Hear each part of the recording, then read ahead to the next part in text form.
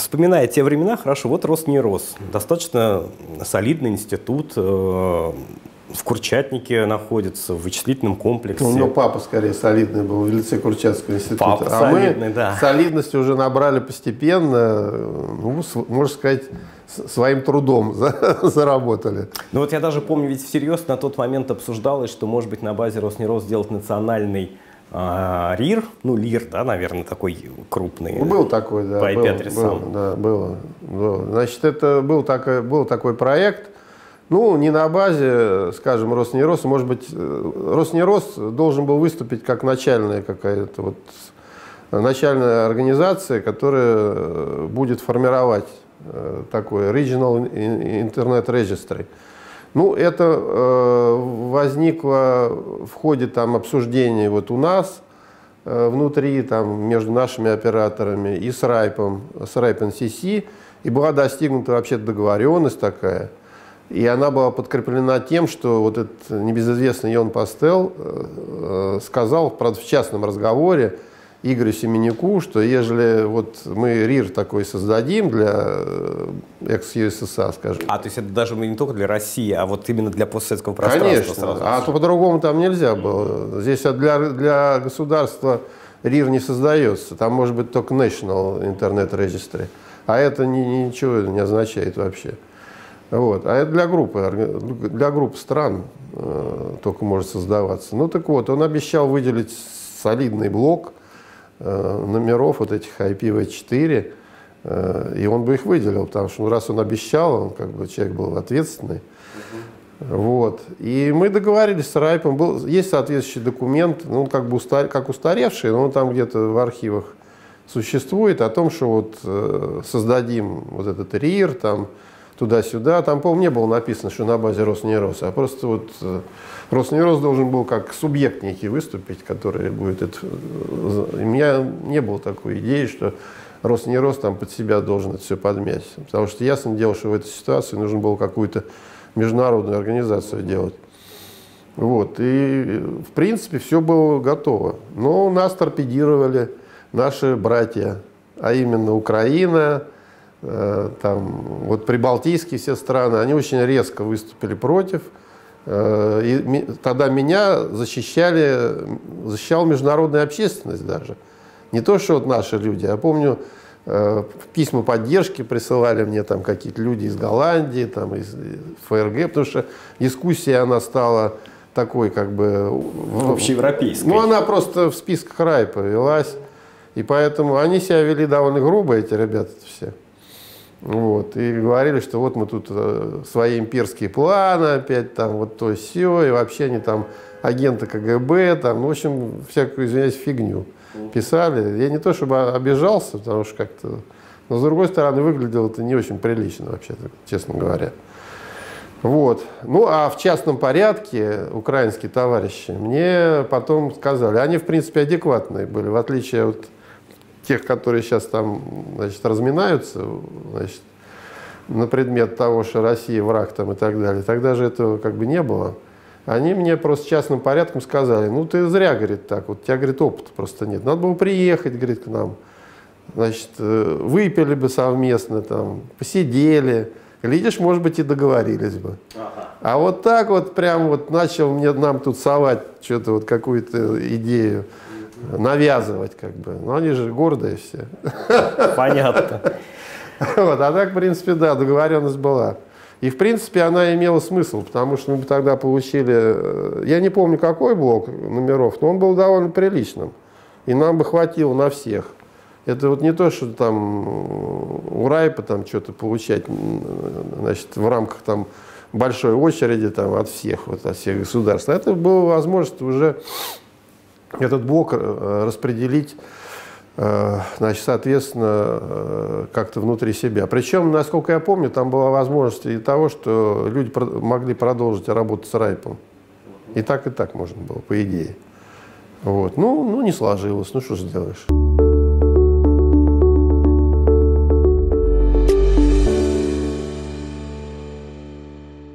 Вот смотрите, такие серьезные проекты обсуждались. А почему вдруг было принято решение а, вот из Роснероса, который был и э, регулятором, ну, правда, была координационная группа, да, вот об этом Да, сейчас да, поговорим, обязательно, и техническим центром, и регистратором. Почему вдруг было принято решение, что нам надо переходить к распределенной системе регистрации? Это 2000 год, да? Ну, она, не- ну, она немножко раньше созрела, потому что, ну, такая вот э, потребность, скажем, да. На самом деле распределенная система, она уже была. Она была в том виде, что у Роснейроса э, были партнеры, ну, или дилеры, я не помню, там, какого вида договор был. Ну, короче, там было э, довольно много организаций, Ну, как агенты, да, они по- да, агент, вот, ну, то не агентский договор был, я не помню, в каком виде был. Ну, короче, были э, организации, через которые регистрация и происходила. Они нам отчисляли просто, э, значит, соответствующие средства. Вот. И как бы она была готова существовать, система. И дальше оставалось сделать этот вот шаг, э, переход э, от, вот таких, от таких вот партнерских схем э, к независимым регистраторам. Вот. Ну, как бы многие этого хотели, тоже не без конфликтов там все это протекало, но тем не менее было понятно, что надо как-то вот двигаться в эту сторону. Единственное, что я хотел добиться, чтобы не была построена какая-то система вообще в стороне от всего, что вот мы сделали. А такие предложения тоже были. Забыть все это, то, что есть, оно все неправильное. Давайте вот сделаем э, заново все. Вот. Ну, собственно, только вот, вот это. А в остальном я понимал, что да, это надо делать, потому что это и конкуренцию увеличивает, и значит, систему упорядочивает. А, Естественно, что э, были еще соображения, связанные с тем, что Роснерос, поскольку он один из регистраторов, то он там что-то мухлюет. Ну, там, есть, а, Роснерос, да, действительно, он сам он регистрирует, сам и реги- партнеры это, это регистрировали. нормально. Это, это кстати, Вот такая международная практика. работает, это да, Деник так, например, где, работал. Я не знаю, как сейчас. Белорусы сейчас так работают. Ну, просто здесь обычно цена у регистратуры, она выше. Типа вот мы тут очень качественно все делаем, у нас тут все тут как бы рядом, тут и база рядом, все рядом. Вот. А так, в принципе, это нельзя сказать, что это вот мы там что-то такое э, напридумывали. Это нормальная практика, такие схемы есть. Вот. Ну, сделали схему совсем разделенную, когда технический центр, мы выделили регистратора, РУ-центр, который достиг больших успехов, естественно. Ну, поскольку он получил какую-то Ну, начальную... наследие было как раз то, Наследие которое было, было, да, конечно. потому что мы все, все то, что было зарегистрировано в Роснейросе, там была возможность э, перейти к любому регистратору, но поскольку привыкли работать э, с Роснейросом, то группа э, значит, соответствующая была отделена э, людей, они ушли в РУ-центр, и, конечно, клиенты, они, в общем-то, захотели продолжить. Это был единственный регистратор вот за всю историю российский, российского рынка, да, регистрации доменов, который имел форму автономной некоммерческой организации долгое На время. начальной стадии, да, да. Потом уже э, была создана, ну, та- ну, не преобразовать нельзя было, поэтому была создана э, коммерческая уже организация. Ну, оно-то не очень пред- пред- приспособлено к коммерческой деятельности, это хорошо известно. Но это как раз, Поэтому- чтобы вот это наследие было, и оно в чем-то проявлялось очень долго, потому что у центра были большие социальные обязательства. Ну да, здесь опять же надо вспомнить, что э, вот вспоминается там все эти разговоры, о, как это Артемий Лебедев на встрече с Путиным сказал, зажравшийся рос не рос. Это, это очень как бы популярно одно время было, вот это цити- цитировать его. Вот. На самом деле э, люди представляли себе, что мы тут э, как сыр в масле катаемся, там черную икру э, едим там, ложками, там, все на мерседесах. На самом деле э, суть была в том, что э, Роснерос – это же не коммерческая организация, и, соответственно, э, весь доход, который мы получали, он либо значит, вкладывался вот в этот проект, в его развитие, э, ну, либо какая-то часть, э, значит, соответственно, уходила на развитие научно-образовательной сети. Вот, поэтому все как бы было э, в дело, значит, соответственно, которое было в некотором смысле государственное, потому что э, научная сеть, это была вс- всероссийская научная, научная сеть, Это РБНет, который... РБНет, да, да, это РБНет. Значит, да. И, и она вузы и научных центров объединяла. Ну, да, она фактически была как э, базовая сеть для различных региональных сетей. У нас схема была похожая на NSFNet. Э, ну, в некотором смысле с нее там и срисовали. Ну, то есть есть базовая сеть, а к ней уже подключаются не отдельные организации, а региональные сети. То есть, скажем, сеть научно, какая-нибудь э, Академия наук. Она там обычно э, включала себя не только там какую-то одну организацию, один институт, а несколько институтов, они как-то там кучковались и подключались к Арбанету. Точно так же и университетские сети, они тоже объединяли вузы в регионе, школы. Вот, и как бы, а мы занимались тем, что обеспечивали вот возможность э, подключения к сети, выход э, международное, ну, внутреннего обмена и выход в международные сети. Вот. Это очень серьезная была сеть, про нее забыли уже, к сожалению. А так, вообще-то, она была, по-моему, третья э, в России, вообще третья по количеству клиентов, там, людей, которые, ну, поскольку, понятно, подключаешь университет, там тысячи людей. Вот если все это пересчитать, то мы прикидывали там где-то ну, где на третьем месте была среди всех э, сетей, включая, включая коммерческие. Вот. И фактически, э, значит, после того, как, э, значит, соответственно, произошло вот это разделение, это где-то, значит, у нас, ну, фактически оно в 2000-м стартовало, в 2001 у нас... Первые регистраторы заработали уже самостоятельно. Да, да, да. да. Ну, РБНет существовал где-то примерно до 5-6 года, вот так. В общем-то, мы продолжали использовать э, те средства, которые уже РУЦентр зарабатывал. На, от да. регистрации доменов. Да, да, ну там зарплата людям, там, ну понятно, в общем. То есть вот это вот, э, как вы говорили, некая социальная ответственность, она продолжилась. И уже после того, как совсем все прикрылось уже, ну тогда уже началась полностью коммерческая работа э, фактически РУ-центра, когда, значит, соответственно, вот это перетекание средств в различные такие государственно значимые программы, она прекратилась. Но в целом, я уже где-то об этом говорил, причем не раз, у нас с государством получилось э, в смысле финансирования сети РБНет где-то пополам. То есть за все, вот это, за все эти годы, с 95-го, наверное, да, с 95-го, с 96-го по 2005, это у нас ну, 10 лет, 8-10, ну где-то вот так. А, значит, и государство, и Роснерос, ну потом там часть от Руцентра, значит, но тем не менее, вот эта вот часть а, и часть государства, которую государство вложило, примерно поровну, примерно по 12 миллионов долларов. То есть вполне себе ощутимая цифра вообще-то. Вот. Так что это, ну, это как бы э, для вот начальной стадии работы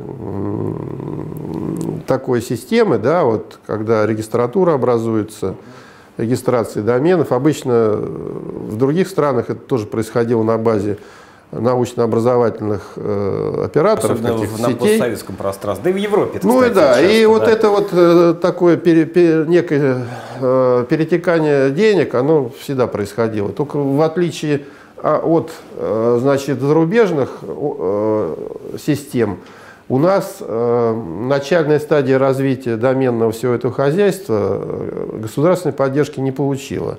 В силу того, что у нас не было целевого финансирования научных сетей в начале.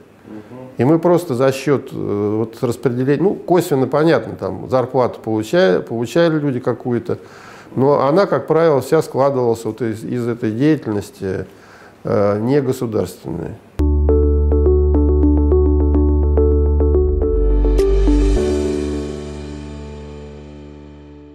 Про правила регистрации давайте поговорим. Вот э, ну, Роснерос да сразу создал вот координационную группу. Это был прототип, прообраз координационного центра нынешнего. Да? Да. А, задачи координационной группы были именно, по-моему, в первую очередь разработка правил регистрации. Ну, конечно. Но я так считаю и сейчас. Э, вот э, задача координационного центра тоже, прежде всего, разработка правил и построение различных программ, которые популяризируют э, домен, правильно? То есть это вот и есть основная цель. А, ну тогда насчет там, того, чтобы э, какой-то маркетинг, связанный с доменом РУ, речи не шло, тогда просто надо было обеспечить его нормальную работу – нормальное функционирование с учетом всяких международных правил и так далее. А вот специалистов-то, собственно говоря, и сегодня-то не так много э, по системе доменных имен. А тогда кто э, вошел в состав координационной группы, как их искали? Вот эти? Ну, у нас, и что их искать было? У нас вот были семь операторов, которые подписали вот этот протокол, в соответствии с которым, значит, э, Роснеросу было передано э, право быть администратором, э, ну, делегировано, скажем, Э, право быть администратором домена РУ. Ну и, соответственно, это были операторы. Э, там был, соответственно, персонал соответствующий, который имел опыт уже работы и понимал, там, что такое DNS, там, что такое домены, там, RFC всякие читали и так далее. Они вошли. То есть начальный э, состав координационной группы, он был чисто эксперт, экспертный. То есть там были эксперты, а именно администраторы сетевые в основном. Вот. Это была безвозмездная, так общественная Да, работа. конечно, конечно. А потому что эти организации, которые делегировали Роснеросу вот эти права, они же домен-то использовали, для них было важно, чтобы это дело как-то контролировалось. Потому что одно дело, когда там Роснерос внутри себя там сидит, что-то выдумывает там, и неизвестно, куда заведет, можно сказать.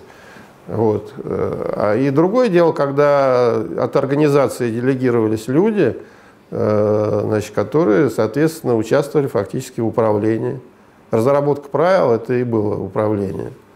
Вот. А так это, конечно, с точки зрения формальной, это общественная работа.